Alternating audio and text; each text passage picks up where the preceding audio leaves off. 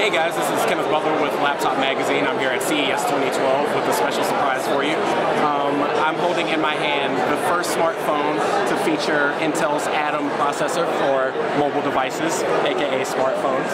Um, this is the Lenovo K800. It was just announced uh, a few hours ago at Intel's keynote at CES, and um, it's a 4.5 inch phone with a 720 display.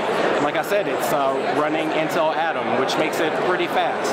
Uh, just to show you, give you a taste of that speed, I'll show it to you now. So we'll go into the media app and uh, play back a little bit of video. You can see that like just cycling through the videos, very speedy, but gotta see it in action to believe it.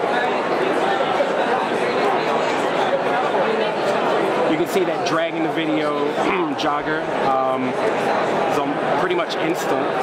And thanks to the 720p display, the video looks really crisp and amazing and actually stutter free versus this time-lapse video. Um, taking a step back, can show you what the gallery app looks like. Someone's already preloaded the phone with a ton of images and they literally just fly onto the screen.